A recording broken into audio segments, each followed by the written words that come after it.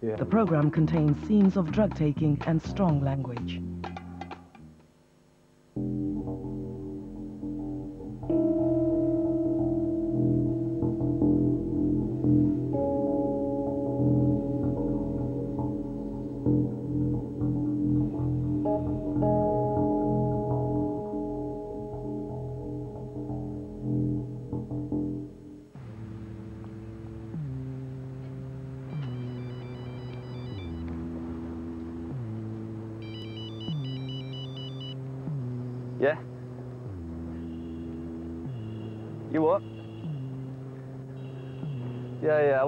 Yeah, don't worry about that. Yeah.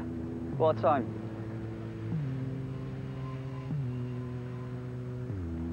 By tonight? Right. Um, I'll get, yeah. Um, I'll be, I'll be around at 7.30, yeah? Drug dealing Right. is a thousand times more addictive than um, drug taking.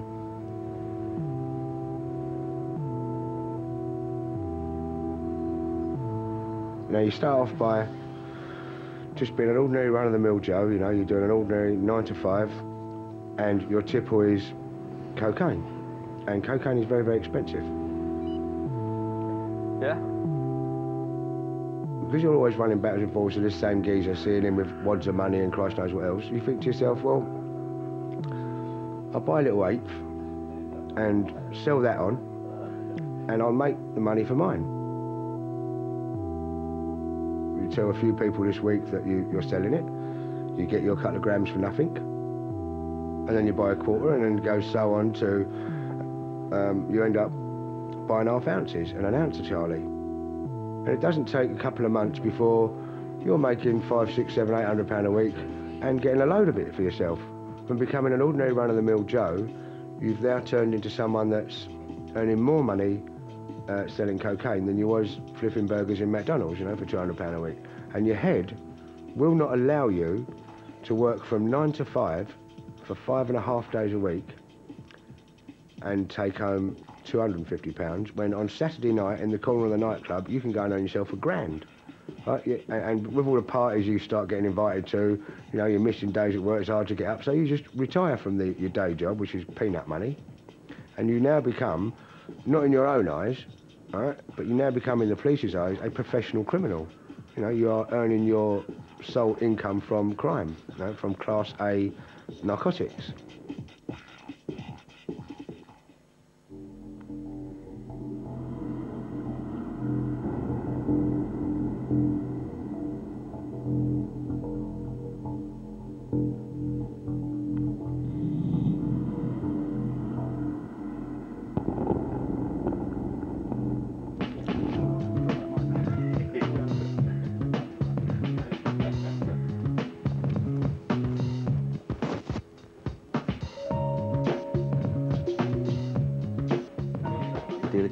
You don't walk around with a sign, I'm a fucking dealer. Do you know what I mean? That's I was thought about. Candles last year,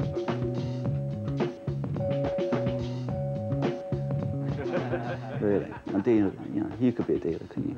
I could be a dealer. Any of these guys could be a dealer.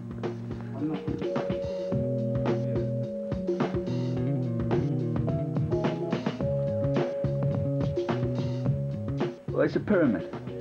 What you've got you've got the guy at the top who brings the gear into England. Below him, you've got the guy who then distributes it to sort of everyone around England and blah, blah, blah. It just filters down. So you've got your foot soldiers going round, you know, selling it in the pubs and clubs and all that sort of shit. And then it's just like a pyramid. It just filters out to people chopping it out, you know what I mean?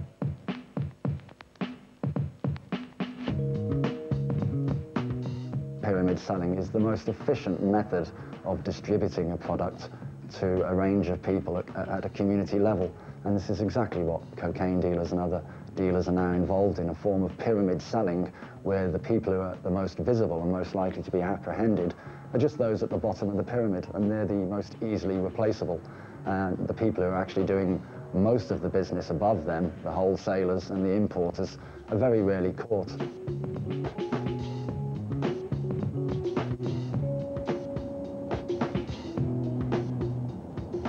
The top men, you've got the trusted lieutenants, so to speak, and below them people who stash for them, people who fetch the drugs for them, people who move the drugs from the stashes to the people who are actually going to do the street dealing, the handing over to the customer.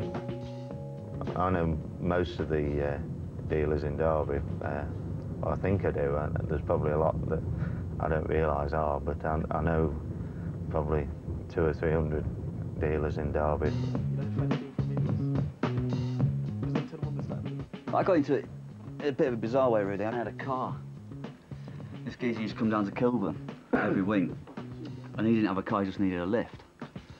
So what had happened is I'd sort of, you know, just give him a lift down, he'd go and sort his shit out, and I'd go and have a meal, have a pint, go and watch a film, whatever, and we did that for about a year.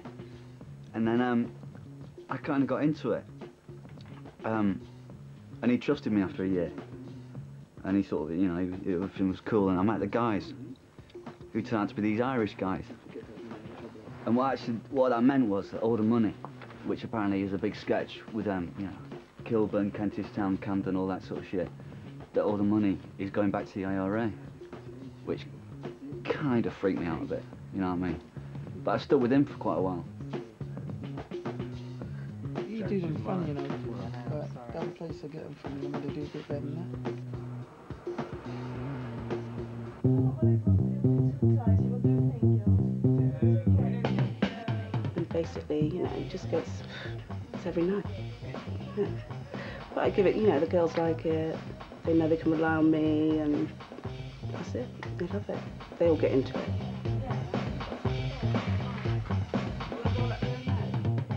So this is going to loosen me up a bit, isn't it? Yes. Oh, You'll hopefully I'm fine. better You'll than be- last night then. You'll be wowing them once you have this, dear. So is this a free one or? This is a free one. If you like it, you can get some, yeah. Right. You know, you do coke because it's gonna, you know, give you that extra bit of life. Yeah, because after a while, you know, it's all right. You start off doing this job, and you have a few drinks, and you're like, well, hey, let's go, and that's enough for a while. But then, you know, time goes on, and you know, you get used to it. You don't have the gift of the gab anymore. You're not going around dizzy drunk anymore. So you just need that extra little kick to get you back into things again. And you know, obviously, I tried a line, and I thought, actually, yeah, this works. So just went for it, and then obviously it gets a bit out of hand, and now I'm sort of dishing it out to the other girls so that I can, you know, keep myself in it without having to dish out too much money. People become users, then they become addicts, then they become distributors, and then they see that they can cover their own addiction by dealing, and that they then work their way up the chain. The problem with cocaine is just, as a dealer, you kind of all the time you're kind of riding a tiger. You, you, you know, there's no. It's difficult to sort of say, be sensible, because you're not being sensible anyway. If you're not touching it at all, you're going to find it very difficult to put the hours in. Because like Thursday, Friday, Saturday, the mobile phone's going, the pager's going, that phone's going, this phone's going. Either you're giving stuff out to people, or you're riding around, handing it to others, or your your flat is just like Waterloo Station. But you you're not you can't just drop off in the afternoon. You've got to keep going. So nine times out of ten they'll be using it themselves, and at certain points they'll be using it a lot. So that clouds your judgment. It's not a good drug for judgment uh, because you think you know everything. But yeah, this is what I do. Um, it's not a pleasant job, it's not a pretty job, but you know, it's purely business. It's not about, you know, it may look glamorous to some people. You know, I drive a nice car and all that, but basically, I don't really get to enjoy any of the luxuries of my particular occupation, you know what I mean? I spend a lot of time fucking worrying about people trying to, you know, dip me over. Can you come down? Can you do this? Can you bring certain little piece of that? And I'm like, look, we've got an arrangement, we stick to it, that's that. People will be chopping and changing their minds all the time. Fucking ringing my mobile like I'm some kind of, you know what I mean, operator service or something. Because when you're out all night, bad things happen. You know what I mean? Funny man, you're a funny rapper. There's glamour with drug dealing, isn't there? You're meeting all the right people, you know, and everyone wants to know you. I mean, I can, I can walk to the front of any nightclub queue whenever I want. Oh, that's cool. That's what you want, isn't it? You know what I mean? So there's no sad queuing. I must have 20 invitations a day for a party. You know, there's always stuff going on. And it's a glamour. You know, there's lots of nice women. You have a good time. You have a really good time. I don't see the point in getting up at 8 o'clock in the morning to go and fart around a photocopier for eight hours for 300 quid a week. Fuck that. No way, man. I just I do whatever I want. I'm my own boss, and I'm making a fortune. I've got a nice car, and I wear nice clothes, and I do whatever I want. What can be better than that?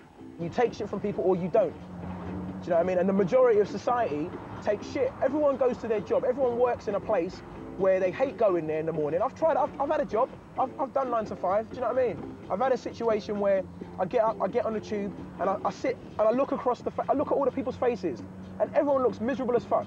And I said, do I really want to be like that? And I said, no, fuck that. Don't want to do that anymore. All you're doing is you're like you're facilitating. You know, you got people who want shit and you got shit, or you're the one who brings the shit in. Do you know what I mean? You ring the dealer and you say, I want X amount, and uh, he, he then arranges to meet you and you pay him the money. And then he tells you where to go and park, and then he rings the courier. There will be some, probably in these cases, uh, 11, 12, 13 year old lads on pedal cycles, and they ride along and, uh, and they go to the stash that they know about, and, uh, and the dealer will probably have a lot of stashes, and each courier will have their own one but it's not so much of a risk for an 11 or 12 year old to uh, be caught with uh, with drugs on them because uh, they're not they're very unlikely to get sent to prison, whereas uh, an adult would be. And you park up with your window down, and you just sit there, and eventually a kid will ride past on his push bike and chuck you your drugs through the window. More so with cocaine than any other drug, that the dealer tends to match um, the group of people that he or she is selling it to. And I think that's um, partly because cocaine, you know, has cut across so many social groups in our society and seems to have found um, admirers in just about every section of society. Hello, mate. Um, sorry, listen, does, does Don have a mobile number? He doesn't. Yeah, that's not till later, though, is it? The middle class users in, in, in yuppie lifestyles and the entertainment world um, are much more likely to buy it off people from their own kind of background. Well, there's definitely a sort of James Bond element about it. Definitely. A sort of um, heightened senses. I mean, the whole, the whole thing surrounding um, this business, I think, is quite exciting uh, for the dealers and for the customers. Um, it's certainly more affordable now than it, than it used to be. Sea breams there? I mean, in the 70s, uh, a gram was, was 60 pounds, which, course, then was very expensive. I mean, it's been one of the least inflationary products, I think, for the last 20 years. I mean, it's, it's stayed at 60 pounds all, all the way through. It's, it's never going to be a great earner. It's never going to be the sole income of my life. Um, I mean, I, I suppose there are, there are people who make a lot of money out of it, but I think they're much further up the chain than I am. If you were working in the bottom 40 to 50% of the distribution chain, you would be a very worried man. You would not be a happy shopkeeper that shut up his shop at five o'clock and went home and, and relaxed. Your job is to sell, to pass on, and to make a profit to pass back up the chain.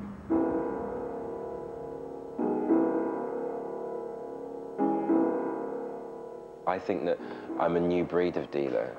People don't think drug dealers have any sense. People don't think drug dealers have intelligence. People do not think that drug dealers know what the fuck that they're doing. And I know that there are some people that treat me like they think I'm stupid. I'm not stupid. I would not have this flat. I would not have the friends that I have. I would not have the clothes that I have. And I wouldn't know the people I know. I would not have those if I was stupid. I deal strictly to entertainment industry, uh, the city boys and girls, um, lawyers, bankers, the, the higher echelons of, of society. Um, I'm very lucky that I deal to who I deal to because I will always make more money than other dealers because the people I deal to have more money.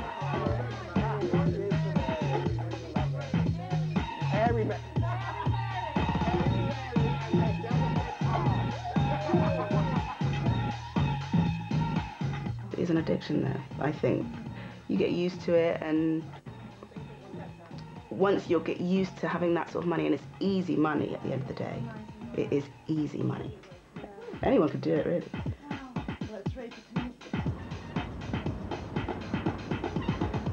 Sometimes you feel like you're in a film almost, and, and it can be a situation where sometimes you, you're, you're like riding your own wave of publicity. Like you'll drive past a group of young people like this or something, and they'll all look at you and they just think like you own the place. Right. If you're dealing, right, if, if I take my client base, my customer base, these are the people who earn the money in this country. Um, they have a, a reputation and careers that could be destroyed if I wasn't discreet, if I wasn't clever, if I wasn't of their ilk, if I didn't. Basically, I could destroy lives by dropping them in it. They have so much more to lose than I could ever lose. You know, my worst fear is police and prison. Their worst fear is the end of their lives. You know, people think I'm just a drug dealer, so, but, you know, Miss Model and Mr. Actor and Mr. Lawyer and Mr. City Boy, that's the end of their lives. So I have a, rep, I have, um, what's the word? A duty. That sounds really, you know, I have a duty to protect my clients, to show them respect, and in turn, they show me respect. If you'd seen some of the houses that I've been to, if you'd seen some of the places I've been because of what I do, you know, I, I've been able to create this kind of mini environment for myself, which I, I, I see that my clients have. And I think all my life I've wanted that, and this is, and, if, and dealing coke has got me that. There you go. Hmm. Excuse me. Probably bring the bill now as well. Certainly, sir. Thank you. I supply the whole restaurant. And it's, it's funny because I, can, I sit at this table and I look around at the other diners. And I think they have absolutely no idea what I'm doing. That's fantastic. I love it. It's definitely a buzz. Anyway, when they, uh, when they bring me the bill, they bring it in, in a folder. And when I open up the folder, there's a, a wad of money inside the folder, which is uh, the payment. I then surreptitiously take that out, put it in my pocket, take out the product, put it back in the folder, close the folder, put it down on the table, leave. The waiter then just comes up, picks up the folder, and there you go.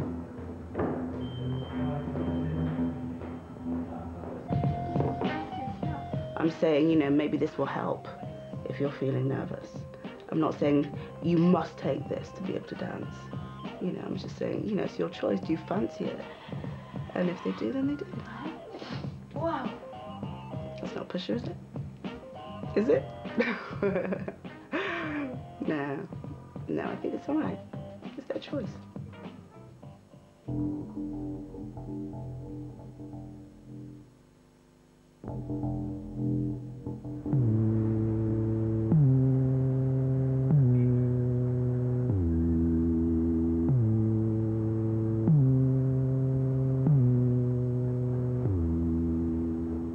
Um, we worked on the basis of there being um, at least one cocaine dealer for every 20 to 30 users, then we may be looking at um, something between uh, 10 and 20,000 individuals involved in cocaine dealing at some level in Britain, you know, during any period of a couple of months. In any large city, there would be, on any given day, between 100 and 200 people selling cocaine at retail level, a few dozen people above them supplying them with the bags uh, to go out and distribute. And then in each city, maybe two or three large Mr. Bigs at the top, um, you know, governing the trade at a wholesale and sort of import level. No matter what the efforts of police and customs over the years, the, the, the price on the streets, I cannot recall it ever going up. In fact, in the case of cocaine, it's been steadily coming down. Now, we know that demand is going up because we've got ample research that shows more and more people are using it. Now, if demand is going up and price is going down, that means that supply is growing. We know that much about international market forces in any commodity. all their business is is stark capitalism. That's all it is. Because it's the same principles. Do you know what I mean? You're talking about profit and loss. You know? It's an economy. If you can organise a situation where you can maximise your profits and minimise your overheads or whatever, whatever, all it is is capitalism. And isn't that what this great country and the Western world is all about? How can you make the most money without losing the, you know, the less using the least labour? Now, this is not a business where in which the customer's always right. This is a business where I'm always right. It's as simple as.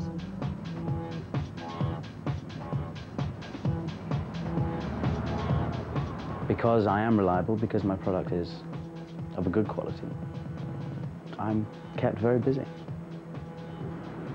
Uh, there seemed to be a niche in the market for a reliable dealer, um, someone who was reliable with punctuality and product. Um, and I felt I could give this service. It was amazing uh, how quickly it grew, actually. I do have another job, and I work in a business uh, where this product is quite widely used anyway. So it wasn't difficult for me to gently put the word about that it was available. And then it just grew from there. I haven't got any friends. I've got one friend, that's myself. Even though in this business you can be, you can know someone for years and years and years and years, donkey's years, and they can still fuck you over. Do you know what I mean? In a minute. Because like I said, everyone's out to rip everyone else off. First sign of fucking the old bill, 5 whatever, they're gone, and you're like, "Wha-" and you're on your own. Don't turn your back. Don't turn your back, man. Do you know what I mean? I tend to think of myself as a, the sort of, not just a dealer, but a, a sort of a confidant. Um, I won't sell more than a gram to, to a person. Um, I sort of look after them in a way. I mean, a gram a week is, uh, is about right. I mean, this is, there's, a, there's this, this sort of misconception about coke as a sort of dangerous drug. I mean, I, I, I see myself like, like a publican in a pub. You know, I'm not going to serve a drunk. So if a person has a cocaine problem, I'm not gonna, I'm not going to sell them cocaine. But I don't really sell to to people that I don't know. And I, you know, if someone recommends someone to me, then I'll say, all right, cool. But you see, it's a situation now where, if, say, like you say to me that this guy here is cool, and will I will I get him a little piece of something? And then it turns out that either he's fucking undercover, or he's just a dodgy character. You know? I'll, I'll make I'll, I'll make sure he gets fucked up, and then I'll make sure you get fucked up for introducing me to him. Do you see what I'm saying? I will let regulars um, have credit, um, but but in the same in the same way, I, I don't like people running up huge bills. I don't believe that's good for people to have so much debt. Um, so I, I won't I won't let people run up huge bills. And again, if there's a but you see, I mean, if people don't pay, I, I'm, I'm not going to go around to their houses and beat them up.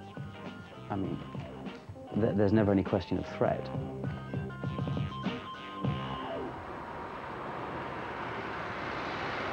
Our dealers have to go to the major towns to bring it in, and uh, that's good for us because that gives us the chance to catch them as long as the intelligence is right.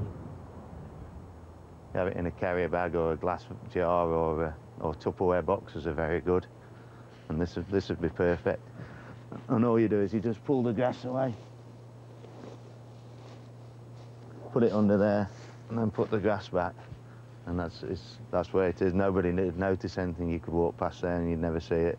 It's dry under the grass uh, and uh, you put it in glass or, um, or Tupperware because you don't want mice chewing through your plastic bags. You don't want to, to lose any of stuff to uh, wild animals. And then you just describe the dis distance from the lay-by or, or the particular tree. It's at the angle of the fence and where the fence meets, uh, the tree that's been cut down. Now, if, if we find that, we've got a choice of either seizing it or waiting for somebody to come and pick it up. But uh, uh, the person who put it there, if we find it, would get a beating because he's either grassed them up or he's been incompetent. So he's, he takes the blame for that. And they, they always like to have somebody to blame all the way along the chain because it, it makes you feel better if you've lost a fair amount of money's worth to, to uh, give someone a bit of a punishment for it. If you're working with me and I'm going to bring you a little piece of something, then basically you're going to get top quality shit. And always top quality shit. I'm not going to give you anything but that. Primarily because, you know, that's how people get fucking shot up and killed and all that shit. Do you know what I mean? You've got idiots who are thinking about, you know, ripping people off left, right, and centre. So they sell them dodgy shit. You know what I mean? You know, two, three weeks later, You're at home, you're in bed with your wife or your kids or whatever, and the fucking police are kicking in your door, and you're wondering why is that the situation. It's, pretty, it's plain and simple as far as I'm concerned, yeah? You fuck someone over selling them dodgy gear, they're not going to think twice about selling you out to the old bill. You know what I'm saying? even go down there. No, don't even go down there. But have you noticed? And the more and the more I do, the worse I get. No, I got that. Is that a naked lady know, or a it's naked, a naked- man? Oh, I think it's both. It's the old, it's the old half and half. Exactly, exactly, exactly. No, have you seen a man? I was actually thinking of getting every one of these for Christmas. I mean, Christmas pre Christmas present. Yeah, yeah, for the Hoover. you know what I mean? It's so funny. Filthier the better, as far as I can concerned. Which is a big one. Always shocked. It kind of adds that little element of, of shock to it. What are you? I do. I know my limits. I have to say that the, if the people that I deal to knew the people I get the stuff from, they're worlds apart. Um, I shouldn't say this really, but the people I get it from don't have any class. Um, and the aggression and the violence there is, you know, I've, I've got to be respectful to my clients, and I've got to be respectful to the people I get what my clients need from.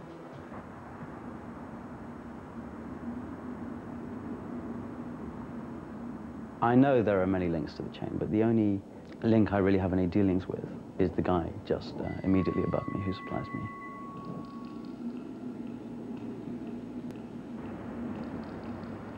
There are two ways we meet. Either I go to his house, which can be difficult because uh, they've just installed security cameras on his road. Uh, so that's a little dodgy now. But um, we have this arrangement uh, to meet at this railway station. We both carry the same sort of, um, actually they're computer cases that we live in. Obviously mine has the money in, his has the product in. And the next train arrives, I pick up his computer case, get on the train, and I don't know what happens after that.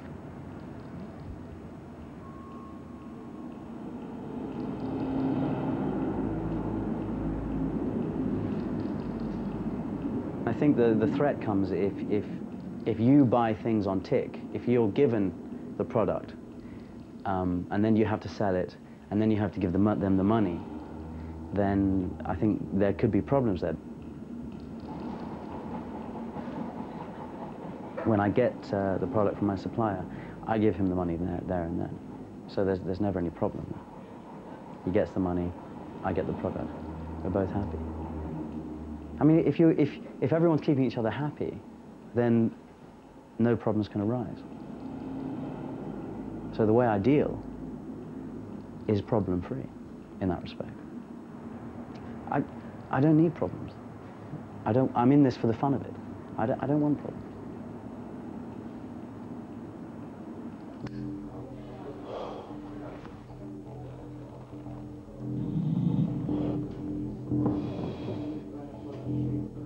If I want a club, I will take that club by whatever means is necessary. Whatever means. Certainly if you glance back at the tail end of the 60s and the 70s, proper respected criminals had nothing whatsoever to do with drugs. They looked down their nose at this up-and-coming industry and the youth culture of the time.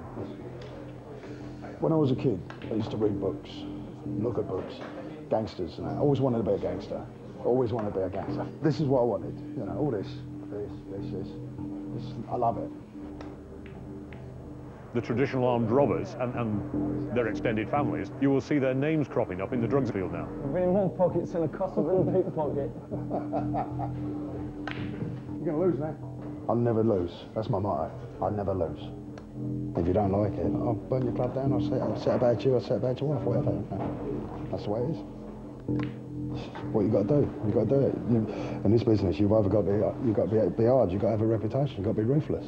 You know. There's three indicators of a thriving market, and that is the purity, the price, and the availability of the product. Both the price and the purity suggest a thriving market, and when we turn to availability, our surveys show that young people say it's more available now than it ever was before. for the first time ever in the last few years, we've seen a youth market developing in cocaine. It's grown from perhaps 1% of the 15 to 25 year olds, and, and now the indicators are showing 6% using cocaine. Now that's a frightening growth in a short period. This is the sort of growth in the use of cocaine that the Americans have seen 20 years ago, and we feared would arise then, but it didn't. And now we've got it coming in, but it's coming in demand-led, and the demand-led mechanisms are being taken over by the suppliers so that it's now going to be production and importation led. And, and that's a dangerous changeover. You can get half a gram for what, 25. If you know so you've got you've got a mate, you get it for 20. We do things on bail, right? Somebody will come to me. They want to buy a key, 25 grand for a key, right? I will give that to them on bail. They've got two weeks to pay. They'll take they take it away. They cut it with whatever they cut it with. Then they've got their two weeks to sell it and bring me the money. Because it's all done on pay me when it's done. That's where the violence comes in around the drug industry because people end up taking their own supply and they've got it on tick and they give it to someone else on tick and then he gets arrested with it and then he has to explain to the man upstairs, you know, I haven't got it because he's got nicked and the bloke says, well, I'm not interested where it is after it left you, I gave it you, you know, you owe me a grand. And that happens all the way up the line to hundreds of thousands of pounds. when you do bail and you take a big consignment of someone's stuff, as soon as you take it, you are liable. You could walk out of there and walk straight into the old bill and they say, right, you're nicked and you got the consignment and you still got to pay because there are people that have put money into it that need to be paid. And they ain't going to listen to what you got to say. You got to find it. So if you're good enough to come and get it off of, off of them on bail, right, get your skills together and go out there and earn the money now. Yeah, or get yourself deeper and say, give me another consignment and I'll work it up. And if anything happens to that, you know the hole is somewhere and it's waiting for you. So it's a dangerous game and there's a lot of people that don't realise what it's like and they go into it and before they know it, they're in too deep. The best thing for us is if uh, we bust somebody who's had, say, £10,000 worth of drugs on credit and we bust them with all those drugs, not only is he has he got the problem of uh, his court appearance, he's also got the problem of repaying the the major dealer is ten thousand pounds, and uh, that that causes them as much problem sometimes as the court appearance, and uh, although it sometimes provokes uh, a bit of violence if they don't pay up. That quicksand, you're in it. And, and as soon as you take your consignment, or as soon as you start thinking, this is what I want to do, or this is what I need to do, you know, you're on a one-way ticket. Bear in mind, if I'm going to be doing it all the time, I'm not going to be a good coke dealer. A, I'm going to be using what I'm selling. So I'm going to be using, I'm not going to be making any money. I'm going to get myself into debt. I'm going to be out every night, off my face. Do you know what I mean? I'm going to be, I'm going to be in bed till four o'clock recovering from the night before, and the ways of selling are going to be completely erratic. You know, so I'm untrustworthy. I see people coming around here and buying loads and loads and buying three, four grams and going out and caning it. I wouldn't do that, you see. All I do is I just sort of go out and I just perk myself up a little bit, do you know what I mean? I just, three, four lines, just keep myself cheeky. That's all I do, you know. You gotta be careful, you know. Yeah. I like that line. They're hooked financially, they're hooked medically, and, and they're hooked because they can't get out, because they've also got information, both above and below, and they can't drop out of the chain and suddenly go and lie in the sun. The drug eventually makes you, you know, completely paranoid. You know, the day after a heavy night, you know, you just mullered up, you don't know what you've been up to the night before, you haven't got a clue, you know, your head's not thinking. But it's a business as well, you know, I'm, I'm dealing with nasty people sometimes. You know, nasty, nasty people who I've got to, they give me Oh, a load of Charlie. The next week I've got to go back with one and a half grand. So I've, I've got to sort that out. I've got to knock that out. You know, so it's never my money. It's always coming in and going out. Do you know what I mean? so, it's not my money.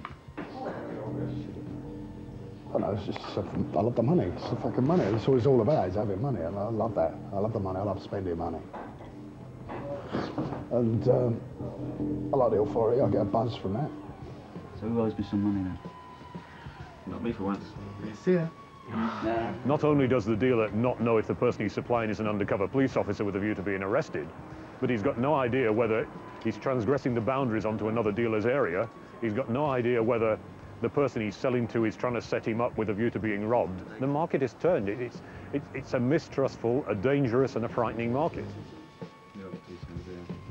You've got to keep watch of yourself and, and know where you are and know what you're up to and, and you know. It's scary fucking business. It's a scary business.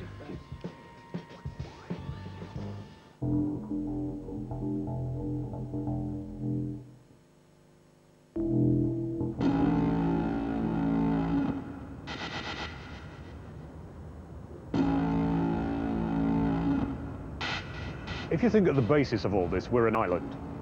We're an island that imports lots of commodities. We have seaports and airports that every single day are bringing in both people and goods. In amongst them, there's a large quantity of drugs.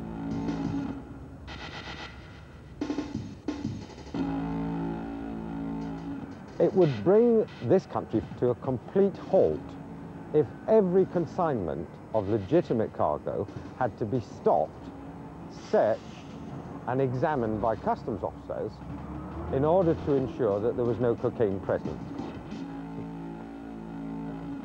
We therefore have had, over the years, internationally, to develop more sophisticated methods uh, to match the smugglers and to focus on consignments of greatest risk.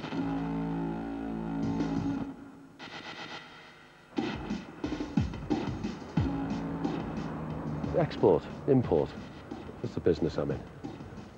The difficult part of it is making sure that you've got the right connections in Colombia and you're not dealing with the, the uh, authorities, you know, which is, a, that's, that's the biggest problem now because they're fucking smart. From there, it's very easy to get it out the country.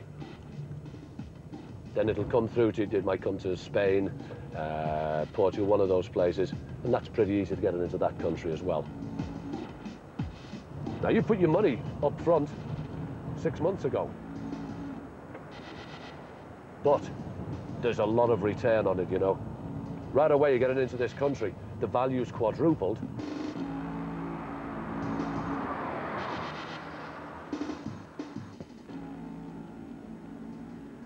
I'm a company director. Um, and the company goes right down. We've got lots and lots of people, and every one of them's got to be trustworthy.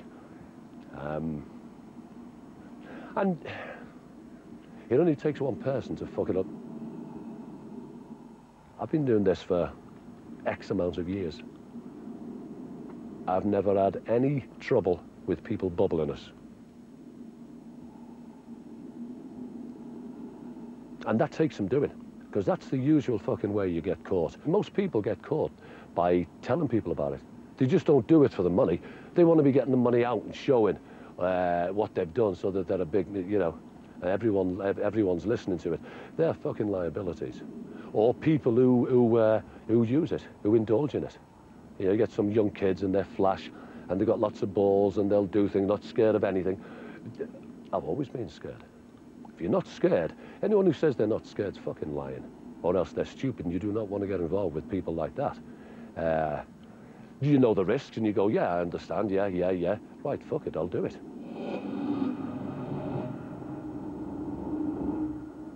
They must be scared. They're scared of us catching them because the penalties are up to life imprisonment. They're scared of us being able to latch on to their part of the organisation where we're able to confiscate all the assets and the profits that they have made.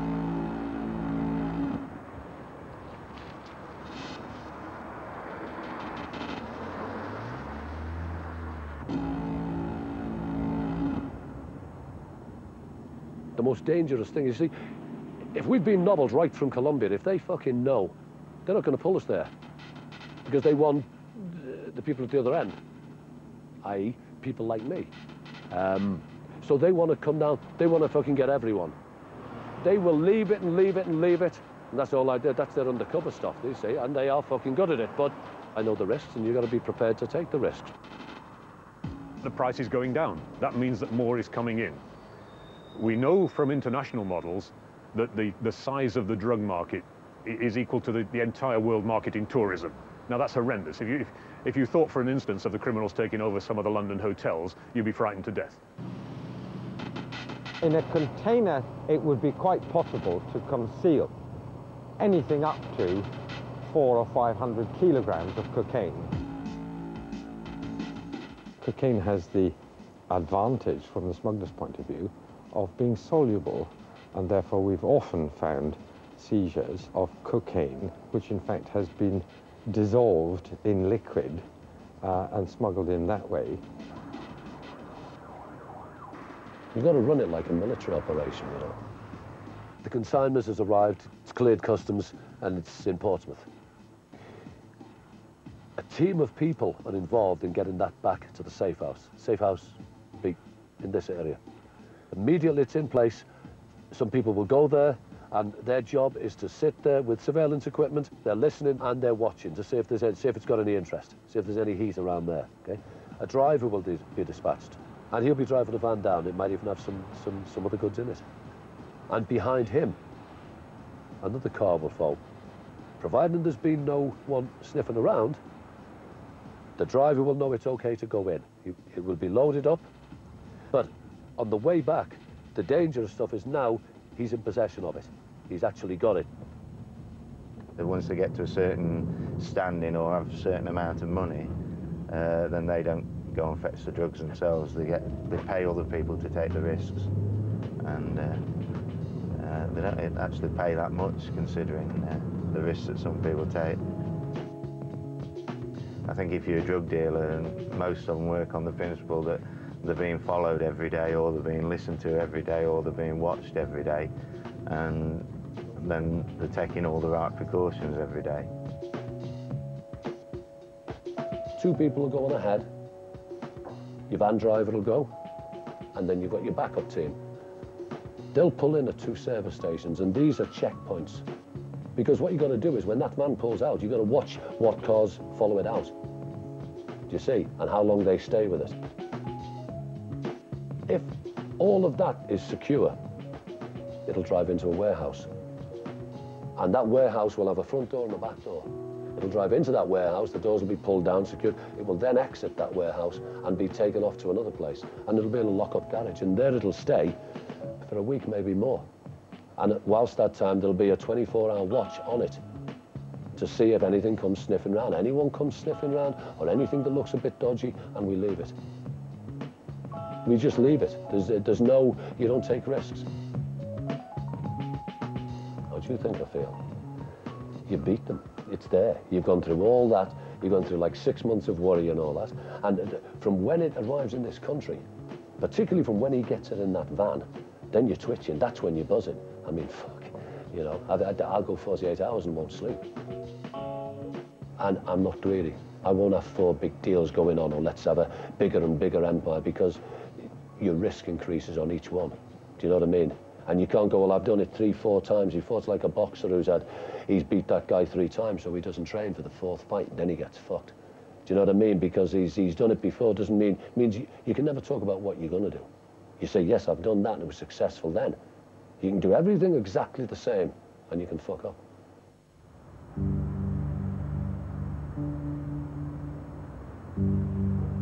There are a number of deaths each year the result of cocaine packages bursting inside human beings. The telephone rang at nine o'clock. And uh, it was her, Michael. And I thought it was my mum at first, but it wasn't. He said, your twin is dead.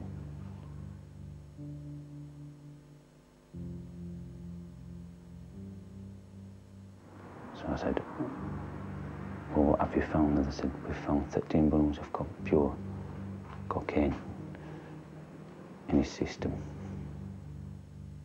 So at six o'clock, he rang me. He said they finished the post-mortem. He said they found a third, further three, three balloons. So altogether, he had 16 balloons in his system. And what they'd done, see the coroner said that he didn't know how, how he had got him he had got him down his, down his throat because some of them was overfilled.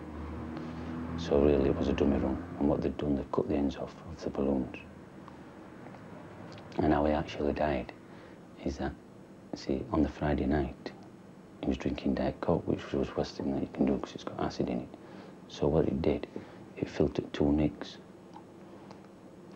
one on one side and one on the other side. And when he was turning in his stomach, that's why he lived so long from me meeting Tim getting his head down at 12 o'clock that night.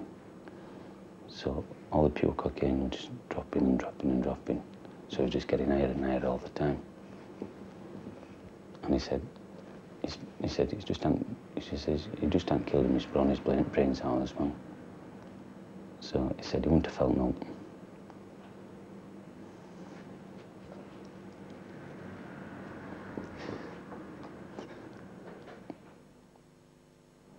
When you're twins, you've got that bond. And, like,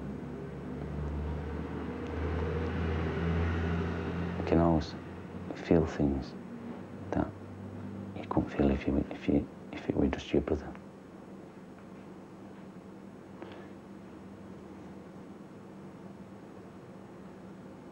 And it just feels like something that you just lost your right hand.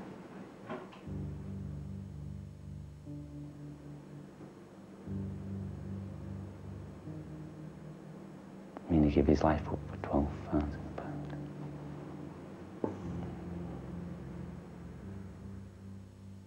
Customs can't stop all the drugs going into the country, and likewise we can't stop all the drugs that are going to be sold. So all you can do is try and keep a lid on it, and then hope that uh, you get a generation of people that realise that they don't need all these different drugs to have a good time, and, and hope that we gradually grow out of it. But there's no great sign of that happening. They have to fight the battle against drugs, but they are fighting a war that they cannot win. I've just made all this happy, you know. I've made them happy. I've given them what they want. The industry now is so big, is so financially rewarding that there is nothing anyone can do to stop drugs coming into this country. Nothing. Well, this was a lad who did a run to Liverpool, uh, and we surveilled him and arrested him on the way back. He got amphetamine, which is the brown powder. He got cannabis, and he got uh, just about an ounce of cocaine, which is in, an into lot, but he, he wasn't considered to be a cocaine user and what, uh, a cocaine dealer. But he'd gone to the main dealers, he'd picked up what he normally picked up, and they'd said to him, "We've also got some good cocaine, which uh, we want you to, or do you want to try and get rid of some?" So he then brings it down. He starts offering it around. You get more people involved in using it.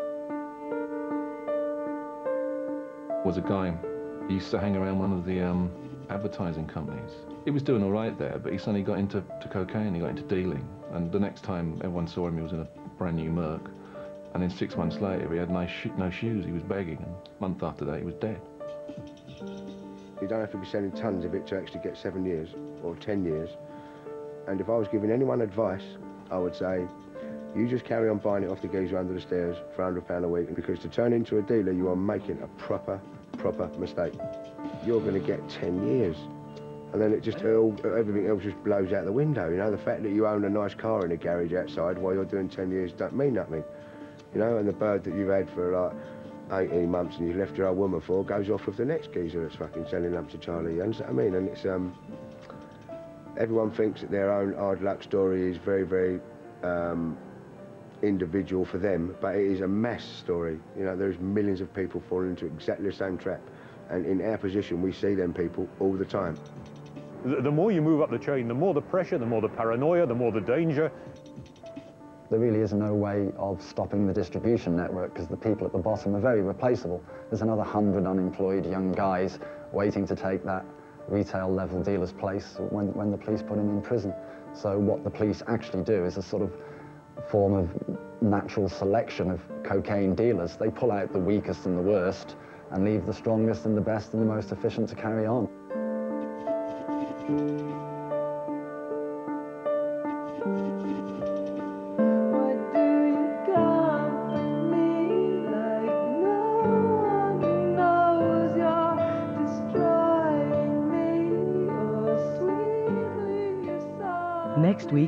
Series, Four is asking why the English have become ashamed of their nationality. That's White Tribe, starting next Thursday at 9 on 4. Next, he's forever young at heart and the man the girls love to play with. Stay with Four for an intimate portrait of world-class racing driver Eddie Irvine.